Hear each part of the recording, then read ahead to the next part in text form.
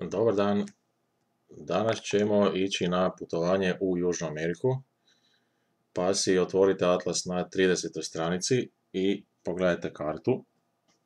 U starom atlasu je na 30. stranici, a evo da vidimo u novom, u novom na 87. Znači otvorite tu kartu Južne Amerike i otvorite bilježnicu i pišite bilješke. Vidjet ćemo razne slike i čuti razne priče. Ja sam bio jednog ljeta, prvi put u Južnoj Americi i sletio sam u Sao Paulo. Onda sam išao u Rio de Janeiro. I to je sve u kojoj državi? Brazil. Onda sam završio na kraju u Montevideo. Išao sam u Paraguay, Argentinu i u Uruguay. Znači najprije idemo u Brazil, možete napisati podnaslov Brazil, bilješke zgledanja fotografija. Da se podsjetimo, ovo tu je Amazonija, porječje rijeke Amazone, to pada puno kiše, jer je ovdje ekvator, i to je nisko, tada je tu vruće i vlažno, i od te puno kiše teče puno rijeka, tako da Amazona ima najveći protok vode na svijetu, a i sve je puno prašume, tako da ova prašuma je jako bitna za kisik svijeta, prošle godine gorila, ne znam koliko je izgorilo. A na ovoj karti se inače vidi biljni pokrov, jako je dobra, tako da vidiš da ovdje recimo nema šume, koja je ovdje država. Taman i Venezuela i Kolumbija. Pogledaj ovo gorje, Gvajansko gorje, je li zeleno? Je. A ovo gorje, Brazilsko, nije zeleno, bar ovdje. I šta je ovo? Skupina planina zvana Ande. Tamo još nisam bio, zanimaju me inače. Planirao sam ići u Kolumbiju i Ekvador jednog dana, ovdje je Galapagos. A za sad sam u Južnoj Americi bio u ovim zemljama. Dakle, idemo u Sao Paulo, onda u Rio de Janeiro. Ovdje su slapovi Iguasu. Pogledaj jesu li značajni, slapovi neki Iguasu jesu. Na tromeđi Argentine, Paraguaja i Brazila. Onda ovdje je Paraguaj. Argentina, evo Buenos Airesa, glavnog je grada. Ovdje je Patagonija, tamo nisam išao i tu brodom prijeđeš ušće rijeke Parane, zvano La Plata, i dođeš u Uruguay. I tu mu je grad Montevideo. Nađi taj grad, Montevideo. On je navodno malo južniji od Buenos Airesa. Znači evo sad idemo u Sao Paulo i Rio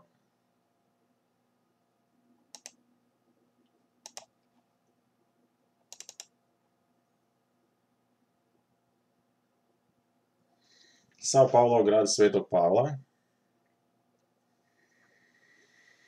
Ima evo, muzeu Afro-Brazil, muzeu za muzej, koji je to jezik? Portugalski, u Brazilu se govori portugalski, jer je bio portugalska kolonija. I tu ima evo Afrikanaca, Afro-Brazil. Koje su oni rase? Crne, Inače, karta svijeta ovak ne stoji, Južna Amerika nije ovak sjeverno. Otkud crnci u Brazilu? Znači, ovo je muzej o brazilskim crncima. Otkud oni u Brazilu? Tako što su Portugalci imali kolonije i u Africi. Angolu, Mozambik, Kapetske otoke, i iz njih su prevozili crnce u Brazil, u svoju drugu koloniju, da bi tu radili na plantažama. I tako su oni ostali.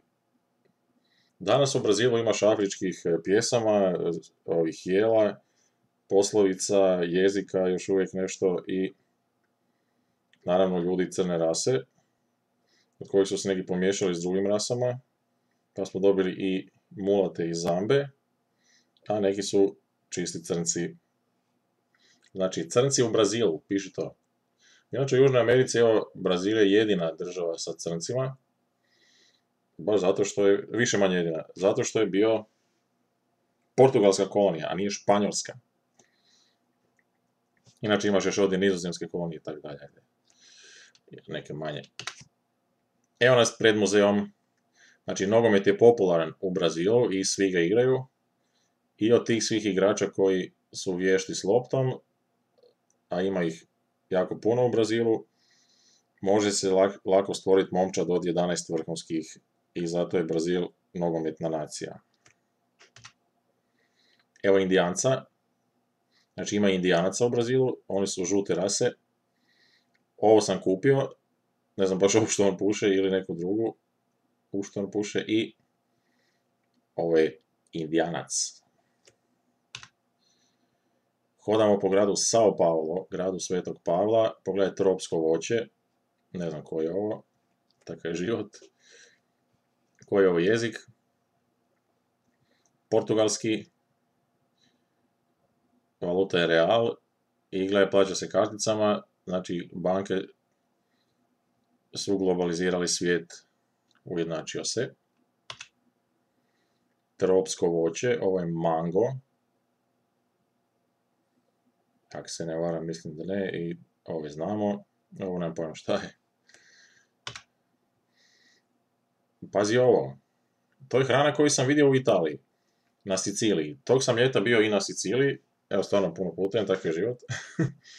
Hvala Bogu. I vidio sam tamo ovu hranu i tamo je na Siciliji zovu arancino. Kao naranđa. I unutra je poha, ovaj, neki ragu ili što već. I to onda vidim i ovdje. I tu ne zovu arancino, nego nema pojma kak. I to je najvjerojatnije od Talijana u Brazilu.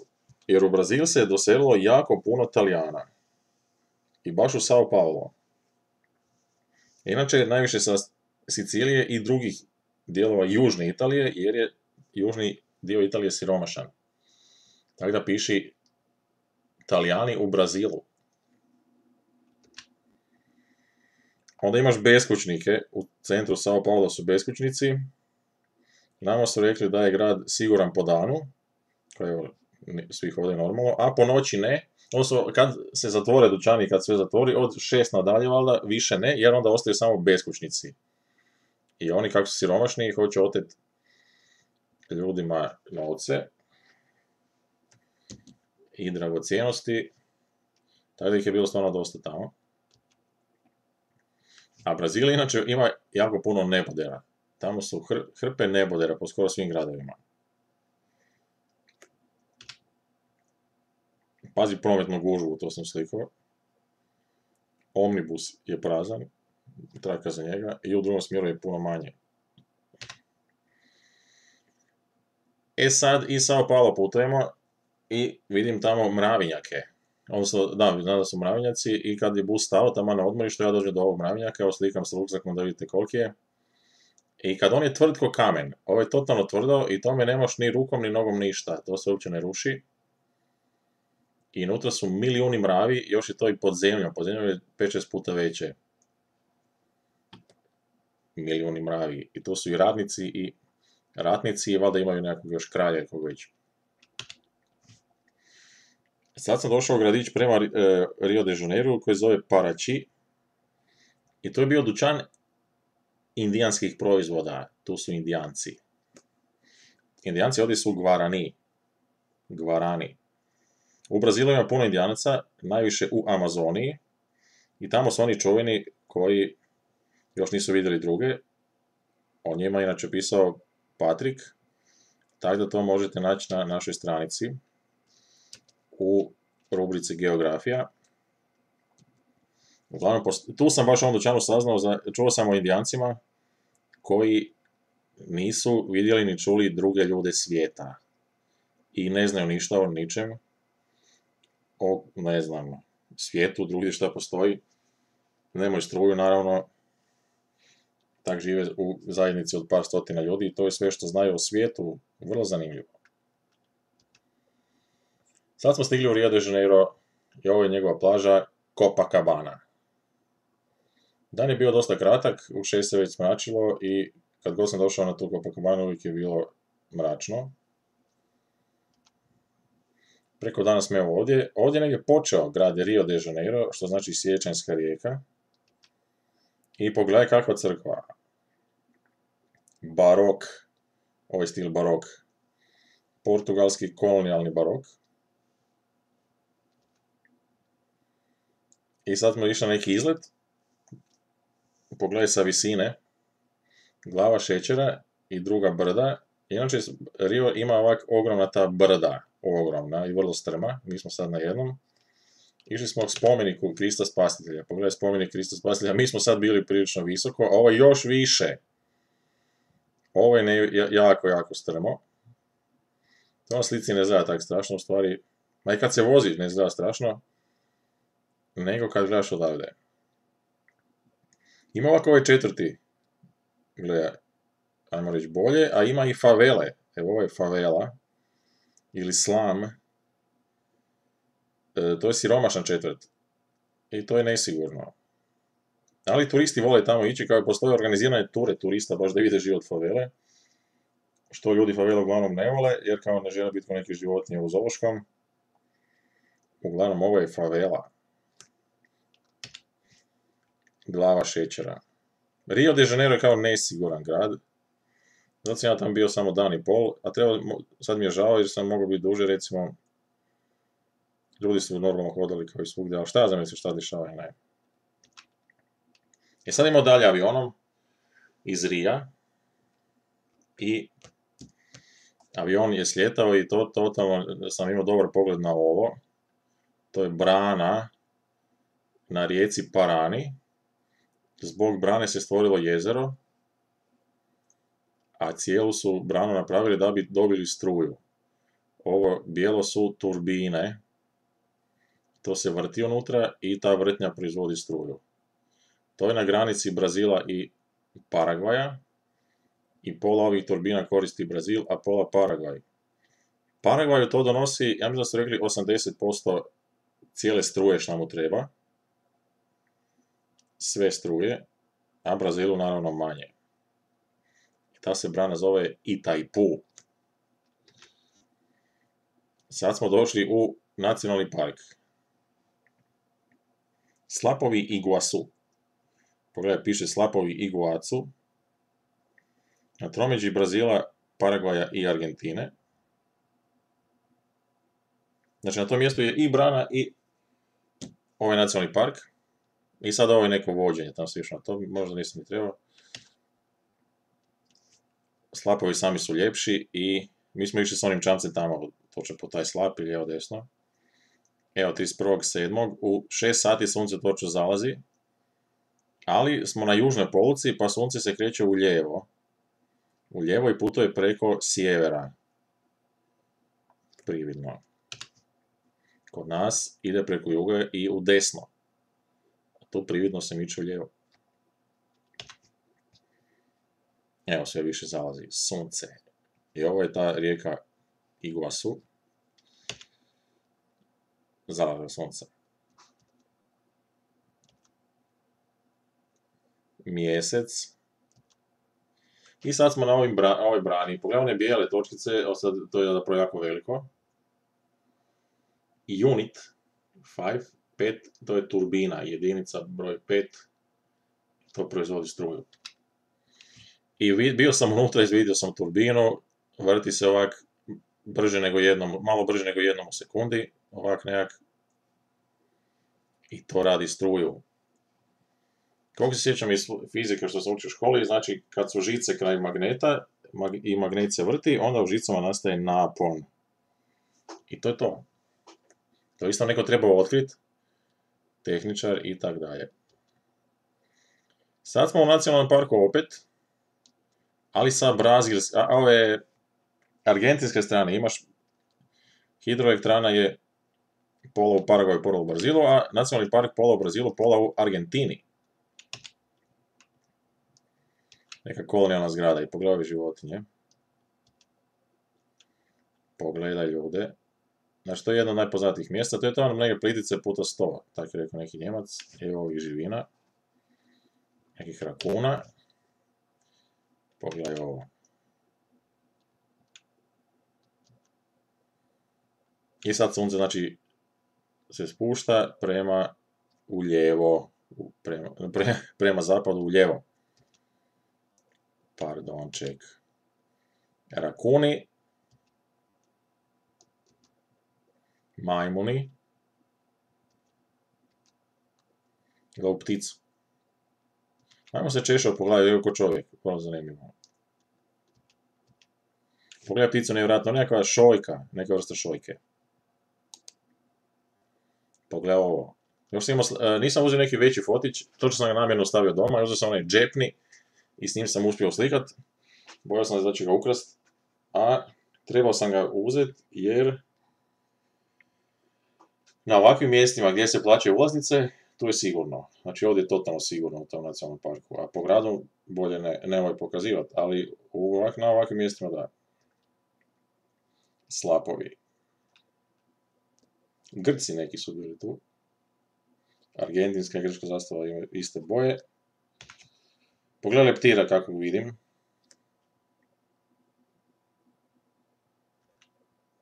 I sad na kraju idemo u Paragvaj. Ušli smo u Paragvaj. Ima zastavu u Hrvatskoj.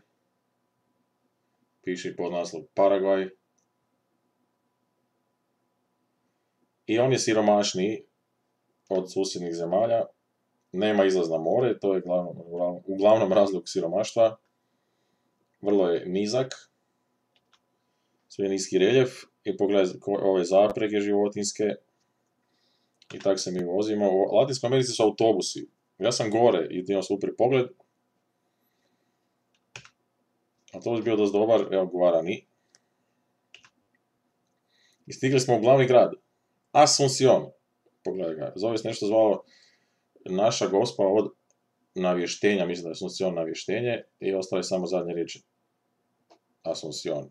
La nuestra senjora de la Asuncion. Pogledaj, e, nered, znači neorganizirano, međutim ljudi su čisti, ljudi osobno se brinu o sebi, a grad ne brine toliko. Pogledaj smeće ovdje bačeno i tako dalje. Evo, grad je osnovan 1537. I to je bio tamo glavni grad. Glavni grad tog cijelog dijela današnjeg Paragvaja i sve do Buenos Airesa, te španjolske pokrajine, kolonije, 15. augusta, znači na veliku gospu, majci Božje posvećeno. je možda uzdesenje majke Božje. Gle katedrale u Asuncionu, skoro sve katedrale u e, Latinskoj Americi ovak dva tonja sa strane. To je taj španjolski kolonijalni stil. Idemo na tržnicu, na plac. Ovo se zvala četiri, kao sjećam se, Mercado Municipal broj četiri. Gradska tržnica četiri, plac. I onda gledaj favelu. U centru grada je bila baš favela i nije bila nesigurna, to ono su dostavili policajci, ja sam uslikao par slika da mi ne ide previše i tak se živi u faveli, čak i idilično, ali unutra je tamno, to se meni sviđa više nego kad je bijelo, sve blješti. Ali mislim da život nije preugodan, ne znam gdje su tu negdje WC i tak dalje, ali može biti simpa. Jedan sam ja ljetao u nekoj baraki kod nas na moru, pa život u baraki zna biti fora. Evo smeća. Ova favela se zove La Chacarita. Postoji pokrajina Čako, pogledajte tu piše Gran Čako u atlasu, veliki čako i onda Čakarita je nekakva djevojčica iz, iz Čaka, čakinjica. Favela La Čakarita. I ovo je rijeka Parana. Jel Parana? Nije, pardon, ček. Mislim da ovo je rijeka Paragvaj, koliko vidim. Jer u Asuncionu pogledaj koje su dvije rijeke. Pilcomayo i Paraguay. Mislim da je ovo rijeka Paraguay. Onda sam otišao u Čako, tamo preko ovog Paragvaja, rijeke. I tamo su bili neki Njemci, Njemci menoniti, protestantska sekta, vrlo stroga, kao Amiši, i živi svoj život. Evo u školi Njemačka, tu se govori njemački totalno, to je u Kroacija, tu, tu sam ja govorio o Hrvatskoj, evo Dubrovnik sam napisao koliko je stanovnika i svima tamo. Pokazao sam kako sunce kod nas ide u suprotnom smjeru, sa istoka preko juga na zapad. To njima valjda bilo zanimljivo. Nama je zanimljivo kako ide kod njih. Ovo mi je učitelj. Ovo je bila povijest. Učili su o Zeusu, kojeg zovu Zeus. Znači, na njemačkom. Indijanci tamo rade za te Njemce, a kaže da totalno drugčije žive, da im novci nisu uopće bitni, da su ovak malo izgubljeni, dok su Njemci probitačniji. I to se organiziraju i uređuju. Evo Indijanca. I ti Njemci tamo imaju mljekaru. I ona dosta ovaj, prodaje po cijelom Paragvaju, možda izvozi. I to je ta vjerska zajednica Menonita koja evo čak ima i industriju. Prije su samo Njemci radili, a sad većinom su šljakeri indijanci, a šefovi su Njemci. I tu sad neki Njemac me vodio, ja vozio tog dana i kao vidjeli smo ove plamence. Onda smo vidjeli e, farme ili seoska imanja tam po selu. Tele. I indijance. Katolike. Ne, pardon, možda čak i protestante. Sela im se zovu onak biblijski Betanija i slično. Evo bi dobro se raspoloženi. Srdačni, to su oni, indijanci u sred Paragvaja, u Čaku. Pazi, ovo je sve pjesak od rijeka i tu ti vjetar nosi taj pjesak i zna biti ovak neugodno, baš za mene koji imam leće.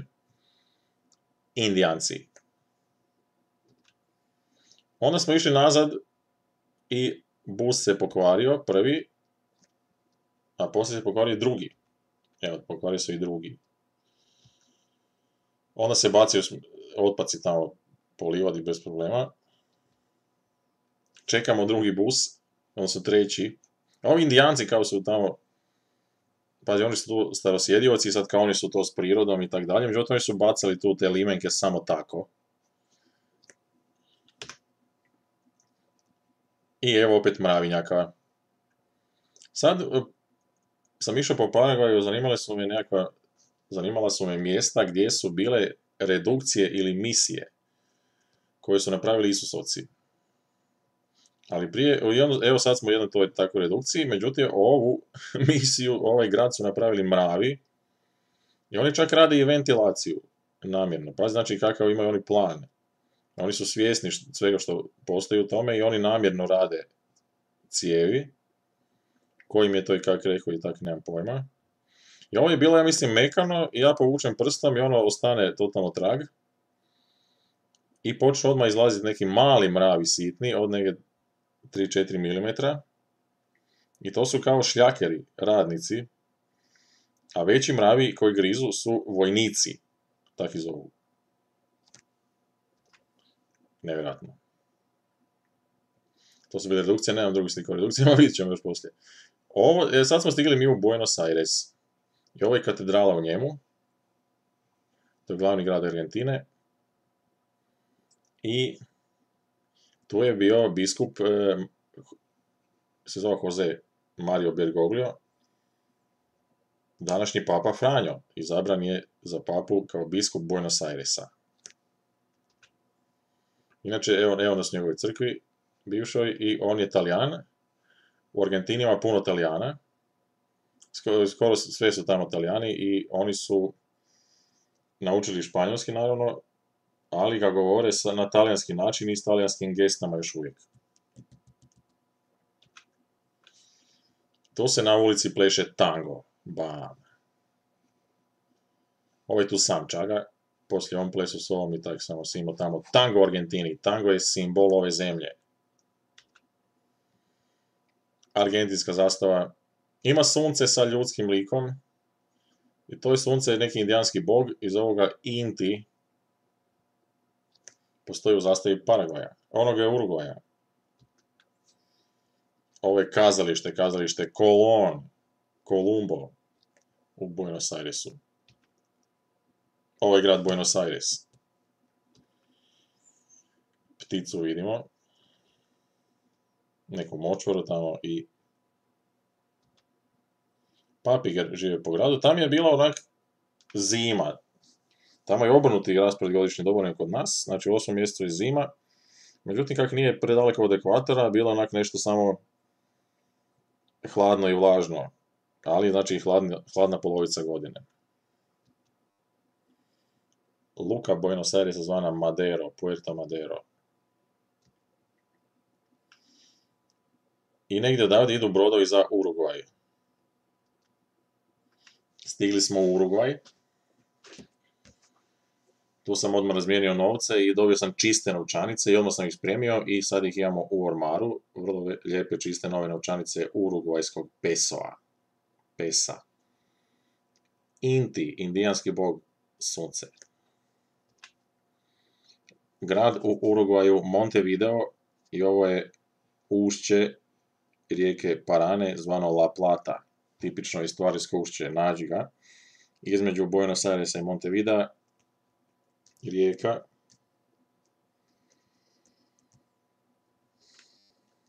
I tu se plesao neki tango na cesti.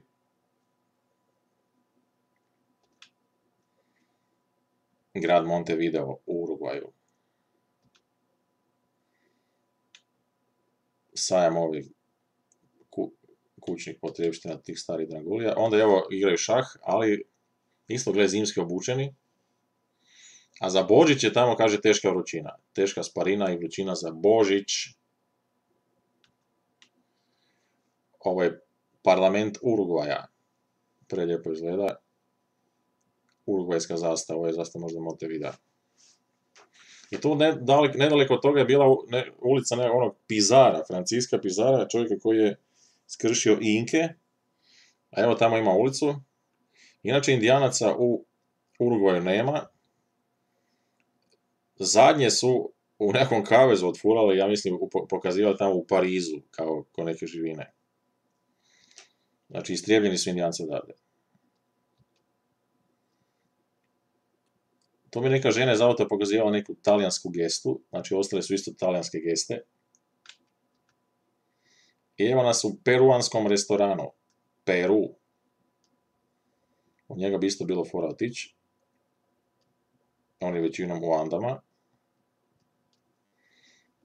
Onda Teatro Solis, Sunce, i gledaj opet ovo indijansko sunce. I tu je bila neka opera, ovaj muzej o toj operi, e, o Inkama. Znači, u Južnoj Americi u Andama su bili Inke, oni su imali, oni su imali najveću državu civilizaciju. Evo, tu je kostim, tu su kostimi iz te opere o Inkama. Onda evo gledaj, Plaza Italija, znači Italijani. I to je kraj prve ture.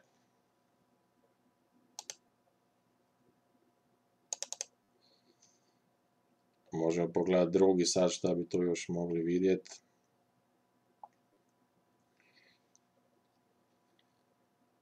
Isusovačke redukcije. Napiši si bilješku, Isusovci su izgradili gradove za indijance i širili im kršćanstvo. Što neko smatra lošim, neko dobrim. Te su redukcije živjeli jako dobro, vrlo organizirano. Isusovci su organizirali sve, a indijanci su šljakali. Ali su volili to i sve je to bilo u redu, nije to bilo niš prisilno.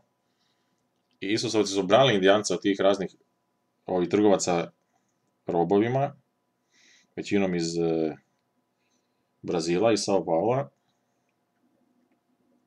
To je živjelo nekoliko tisuća indijanaca, a samo jedan ili dva Isusovca. Isusovci su na španjolskom Los Jesuitas. piše se Jezuitas, a jedan je El Jezuita. Neki hostel je tu bio El Jezuita. Ovo je redukcija San Ignacio Mini na sjeveru Argentine. Uglavnom su te misije služile za indijance Gvarani i ti indijanci postoji dan danas. Evo ova je mala iz naroda Gvarani, indijanskog naroda. I to su oni, indijanci teški. Odnosno ne ona indijanka, drugi su valjda ti španjolci, italijani. I ovo tu su, gledaj, križ, indijanci su dosta praktični u ručnom radu, tako da križe od pruća, kao sve ovako od pruća i Isusovo tijelo od pruća i kruna i vrlo zanimljivo. I to isto imamo u školskoj zbirci. Inače, gledaj, majice su popularne, čisto globalizacija tih nogometnih klubova i tako dalje. Ovo je Čaga u Rio de Janeiro kod Copacabane. Rio de Janeiro. Gledaj kako je izgledao na početku, znači samo priroda. Onda se izradila prva crkva, 1650. Pa gradić. I to se širi. I sad je ovak. Dakle, evo možemo ponoviti šta smo sve vidjeli.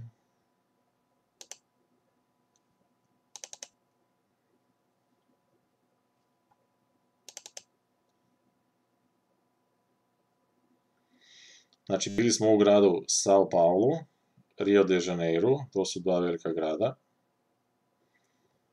I Sao Paulo nije na moru, nego blizu, a Rio baš je. Tu su inače još neki brazilski gradovi, većinom na obali, a unutrašnjost mu je slabo naseljena. Zato je osnovan glavni grad Brazilija da se potakne seljenje u unutrašnjost, jer glavni grad privlači na sebe. I onda smo letili na slapovi Guasova, pa smo otišli u Paragvaj, pa u Argentinu, to je ona misija, došli u Buenos Aires, prešli La Platu i završili, završio sam putovanje u Montevideo, u gradu, glavnom gradu Urugvaja. Eto, sve si to zapišite i pozdravljam vas.